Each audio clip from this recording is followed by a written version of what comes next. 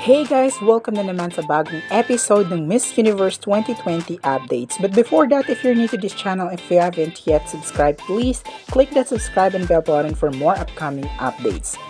So there we go mga Bex, Miss Universe Myanmar kinumpirmang nawawala ang kanyang luggage na naglalaman ng kanyang dresses na susuotin para sa Miss Universe pre-pageant activities at kasama mismo ang kanyang evening gown sa nasabing luggage na nawawala. Ayon pa sa kanya, kasalanan ng airline na kanyang sinakyan ang nangyari dahil hindi nila ipinasok ang luggage ni Myanmar sa sinakyang plane.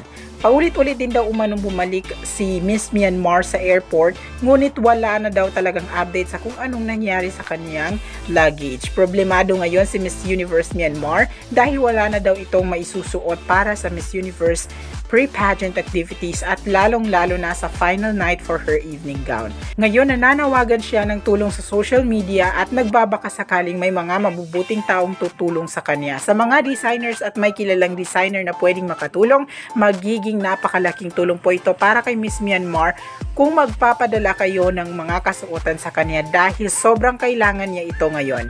Ano masasabi niyo sa sitwasyon niya guys?